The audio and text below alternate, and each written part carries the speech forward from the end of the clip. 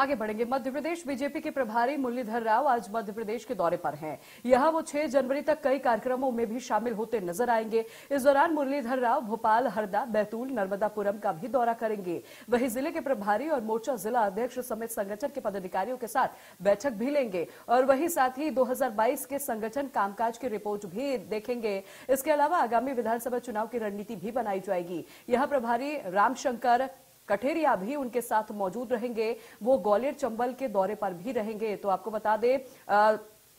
मध्य प्रदेश के दौरे पर रहेंगे इस दौरान बैतूल हरदा तमाम जिलों का भी वो दौरा करते हुए नजर आएंगे और ये भी जानकारी दे दें चार से छह जनवरी तक प्रदेश के दौरे पर संगठन पदाधिकारियों के साथ वो चर्चा भी करेंगे और उस दौरान 2022 में कितना कामकाज हुआ इन सब बारों में जानकारी भी लेते हुए नजर आएंगे तो यानी फीडबैक भी लेंगे और ये दौरा उनका काफी अहम माना जा रहा है इस दौरान वो कई संगठन के अधिकारियों से मुलाकात भी करेंगे